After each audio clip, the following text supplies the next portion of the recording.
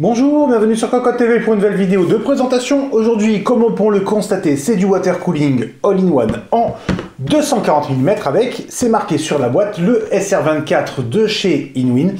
Un kit all-in-one qui permet donc à la marque d'attaquer le secteur du refroidissement liquide en Europe. Il y a d'autres produits qui sont disponibles en Asie, en plus de celui-ci. Et pour l'Europe, nous avons donc actuellement la série SR avec ce très bel ensemble Waterblock et pompe au pluriel. Pourquoi au pluriel? Tout simplement parce qu'il y a deux pompes. C'est la principale nouveauté de ce produit par rapport à la concurrence, en plus bien entendu du RGB, tout ça, tout ça. Mais voilà, il y a deux pompes. Pourquoi?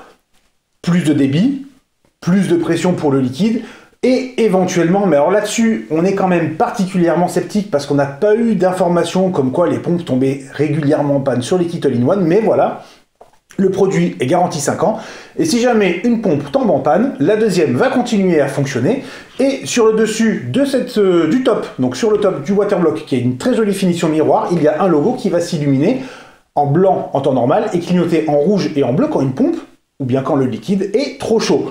Alors, oui, ça clignote, il faut regarder à travers la fenêtre si on en a une, mais bon, toujours est-il qu'il y a quand même une petite indication visuelle. Au niveau du produit, il est joli. Alors, c'est imposant, on le voit. Si on met un ventilateur à côté de 120 mm, ça arrive à peu près ici. Donc le waterblock est particulièrement grand. Ça ne rentrera pas dans tous les boîtiers compacts. C'est un point à prendre en compte. En revanche, petit bonus, hop, comme on peut le constater, ça tourne dans tous les sens et ça c'est quand même une très bonne chose, d'autant plus que ce soit pour Intel ou pour AMD, on peut choisir le sens du kit de fixation et donc avoir la pompe comme ceci, ou bien comme ceci, ce qui permet vraiment d'être libre dans le boîtier pour organiser au mieux les tuyaux, mettre le radiateur de la meilleure façon possible.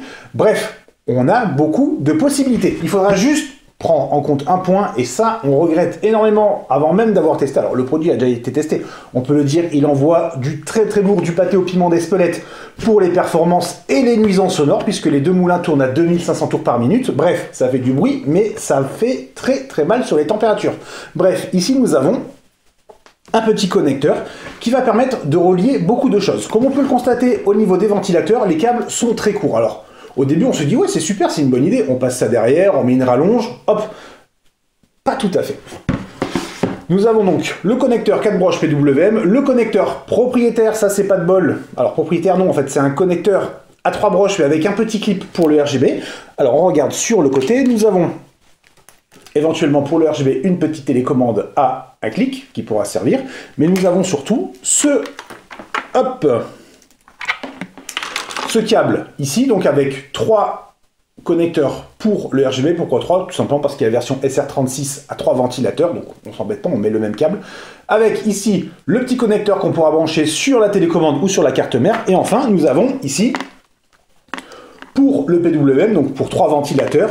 Et ça va ensuite aller hop, sur le waterblock, sur la pompe, en haut. Alors c'est en haut, c'est pas terrible. Pour le faire passer sur le côté, derrière la carte mère, franchement, ça aurait été mieux si ça avait été en bas. Alors après, on n'a pas démonté pour voir comment c'était fait à l'intérieur. Peut-être qu'il y a des, des contraintes par rapport au PCB ou autre, mais voilà, d'un point de vue utilisateur, franchement, ça craint.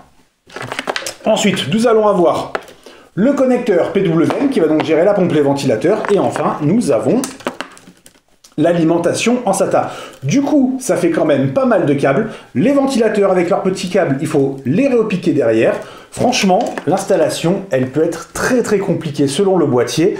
C'est pas terrible. Après, ça n'engage que nous, on a vu beaucoup mieux. Pour un premier jet, ça aurait pu être un peu mieux. Après, on l'a dit, les performances sont là. Le RGB est plutôt sympa, on l'a vu en début de vidéo. Et surtout, le tarif est quand même plutôt agressif pour un ensemble RGB on est à 120 euros.